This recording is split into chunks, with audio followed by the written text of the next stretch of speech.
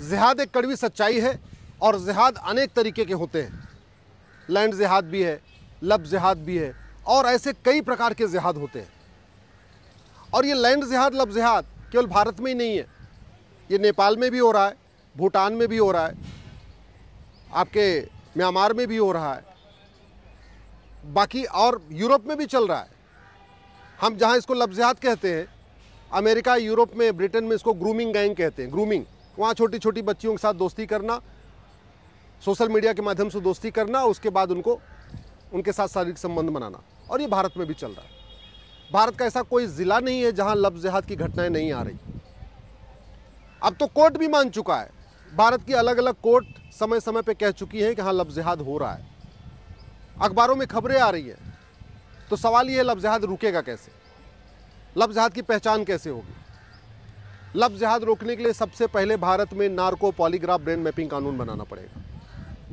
क्योंकि लफ जिहाद हो रहा है, लेकिन फिर भी तथाकथित सोशलिस्ट सेकुलर सेकुलर लिबरल जो जमात है, ये जो सोशलिस्ट सेकुलर लिबरल पाखंडी नेता, अभिनेता, लेखक, बुद्धिजीवी, पत्रकार, कलमकार हैं, ये मानते ही नहीं कि लफ जिहाद होता है। वो तभी मानेंगे जब दो चार लब जिहादियों का लाइव वीडियो आएगा। इसलिए सबसे पहले नार्को पॉलीग्राफ ब्रेन मैपिंग कानून बनाना चाहिए। और जिनके ऊपर लब जिहाद का आरोप है, उनका बाकायदा narco test, polygraph test, brain mapping test करके उनका लाइव वीडियो का प्रसारण करना चाहिए, जिससे भारत के नेताओं का मुँह बंद हो जाए, भारत के जजों को भी ये समझ में आ जाए कि लब जिहाद हकीकत है।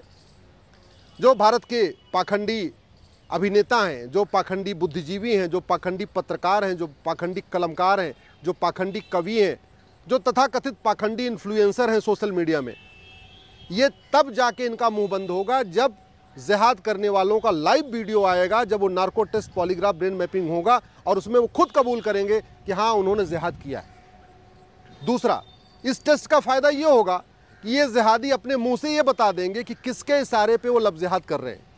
कौन उनको फंडिंग करता है? किसने उनको बाइक खरीद के दिया है? कौन उनको इस चीज़ के लिए मोटिवेट करता है? क्योंकि ये जो लब जिहाद होता है लैंड जिहाद होता है, एक व्यक्ति नहीं करता। पूरा एक ऑर्गेनाइज तरीके से होता है, इसमें पूरा सिंडिकेट होता है। कई सारे लोग उसमें मिलके होते हैं। दूसरा लब जिहाद का अल्टीमेट टारगेट क्या है? धर्मांतरण।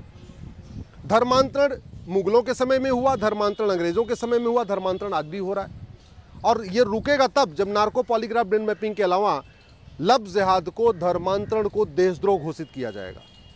धर्मांतरण को लब जिहाद को वेजिंग वॉर डिक्लेयर किया जाएगा। धर्मांतरण को लब जिहाद को देश की एकता अखंडता के लिए खतरा घोषित किया जाएगा। धर्मांतरण को लब जिहाद को राष्ट्रीय सुरक्षा के लिए खतरा घोषित किया जाएगा।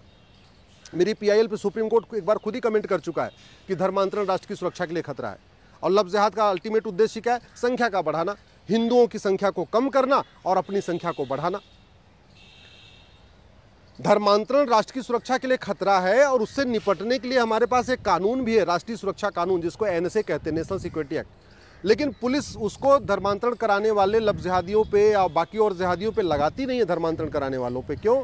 क्योंकि एनएसए में हमने कहीं को डिफाइन नहीं किया कि राष्ट्र की सुरक्षा के लिए क्या क्या खतरे हैं। हमने एनएसए जो कानून है उसमें कहीं लिखा नहीं है कि ये धर्मांतरण भी राष्ट्र की सुरक्षा के लिए खतरा है। ऐसे जो देश की एकता, अखंडता के लिए खतरा होता है उससे निपटने के लिए हमारे पास एक कानून है, उसको कहते हैं यूएपीए। लेकिन धर्मांतरण कराने वाले लफ्जिहादियों पे यूएपीए नहीं लगाया जा रहा है, क्योंकि जो कानून है यूएपीए उसमें हमने कहीं ये नहीं लिखा है कि देश की एकता अखंडता के लिए क्या क्या खतरा है। धर्मांतरण भी देश की एकता अखंडता अखंडता के लिए खतरा है, ये उस कानून में कहीं लिखा नहीं तो पुलिस उसको यूपीए लगाती नहीं। हमारे देश में एक जो नई भारतीय न्याय संहिता है, उसमें भी एक वेजिंग वॉर की धारा है, और पहले वाले आईपीसी में एक वेजिंग वॉर की धारा थी। देश के खिलाफ इनडायरेक्ट वॉर करना प्रत्यक्ष युद्ध करना, भारत की डेमोग्राफी बदलना। लब जिहाद का या लब ये अपना लैंड जिहाद का या धर्मांतरण का मूल उद्देश्य क्या है? यहाँ की डेमोग्राफी बदलना। और बहुत सक्सेसफुली डेमोग्राफी बदल भी हो चुकी है। नौ राज्यों की डेमोग्राफी बदल चुकी है। 800 जिलों में से 200 जिलों की डेमोग्राफी बदल चुकी है।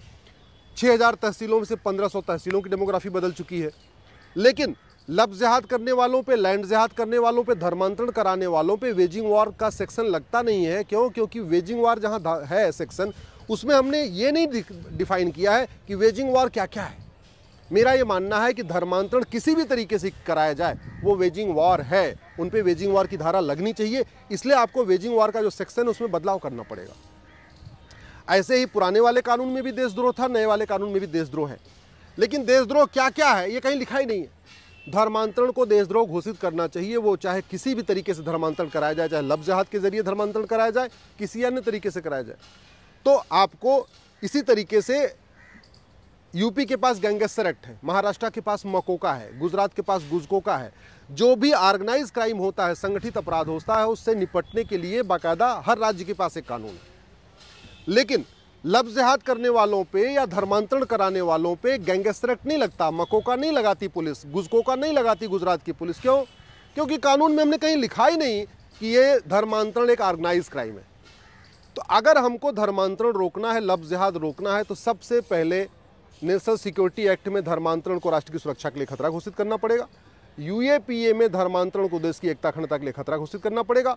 वेजिंग वॉर का जो सेक्शन है, उसमें धर्मांतरण को वेजिंग वॉर डिक्लेयर करना पड़ेगा।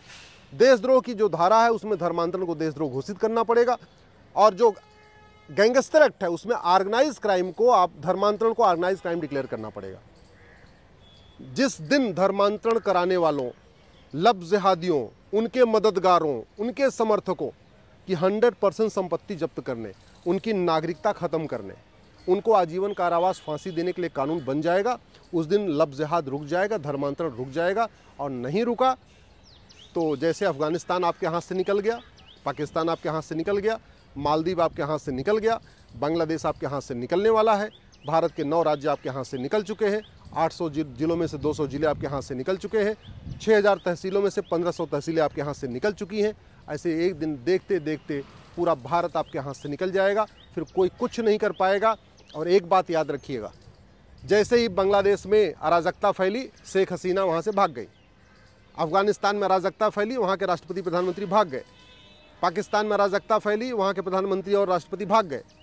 1947 में जब अराजकता फैली थी तो मनमोहन सिंह जी बाकी और राम जेठमलानी जी, आडवाणी जी, मिल्खा सिंह जी, सब लोग आखिर वहाँ से भाग के यहाँ आए थे। वैसे ही 25 साल के बाद जब भारत में अराजकता फैलेगी ना तो आज के नेता, अभिनेता, लेखक, बुद्धिजीवी, पत्रकार, कलमकार, कवि, धर्मगुरु, ये जो आज नए नए रोज़ प्रवचन देते रहते हैं बड़ी बातें करते रहते हैं, ये आपका घर बचाने नहीं आएँगे।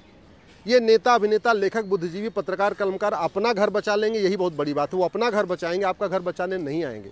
आपका घर जो बचाएगा, वो कठोर कानून बनाएगा। इसलिए मैं आप लोगों से निवेदन करता हूँ, हर सप्ताह जाके अपने सांसद के घर पर बैठ जाइए। दो तीन घंटे के लिए बैठिए। उनसे पूछिए कि धर्मांतरण को राष्ट्र की सुरक्षा के लिए खतरा कब घोषित किया जाएगा? धर्मांतरण को देश की एकता, अखंडता के लिए खतरा कब घोषित किया जाएगा? धर्मांतरण को देशद्रोह कब घोषित किया जाएगा? धर्मांतरण को वेजिंग वॉर कब घोषित किया जाएगा? धर्मांतरण को ऑर्गेनाइज क्राइम कब घोषित किया जाएगा? धर्मांतरण कराने वाले उनको मददगारों पे की हंड्रेड परसेंट संपत्ति जब्त करने, धर्मांतरण कराने वाले और उनके मददगारों की नागरिकता खत्म करने, धर्मांतरण कराने वाले और उनको मददगारों की आजीवन कारावास फांसी देखने कानून कब बनेगा?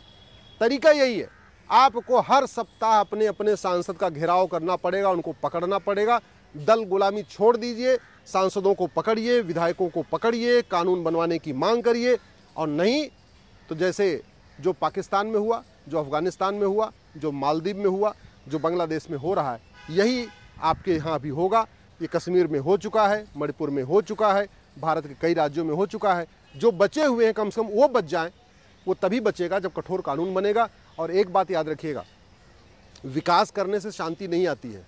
विकास करने से देश सुरक्षित नहीं होता। फ्रांस ने खूब विकास किया था, हाईवे, एक्सप्रेसवे, एयर, एयरपोर्ट बनाई थी बड़ी बड़ी ट्रेन चलाई थी, जल रहा है। ब्रिटेन के पास हमसे ज़्यादा अच्छा एयरपोर्ट है, हमसे ज़्यादा हाईवे है, हमसे ज़्यादा उनके पास अच्छे हॉस्पिटल हैं, कॉलेज हैं, यूनिवर्सिटी हैं, ब्रिटेन जल रहा है।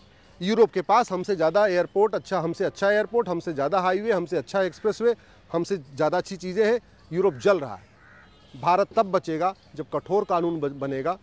चीन सुरक्षित है, चीन में अराजकता नहीं है, चीन में धर्मांतरण नहीं है, चीन में लब जिहाद नहीं है, चीन में लैंड जिहाद नहीं है, क्योंकि चीन का कानून कठोर है। जहाँ कठोर कानून है, वहाँ शांति है, समृद्धि है, खुशहाली है। सठे साठम समाचरित भयबीन हो नप्रीत। इस सिद्धांत पे जिस जिन देशों ने कानून बनाया, वहाँ शांति समृद्धि खुशहाली है। और भारत में अगर बनेगा तो भारत बचेगा, नहीं तो भारत बर्बाद हो जाएगा।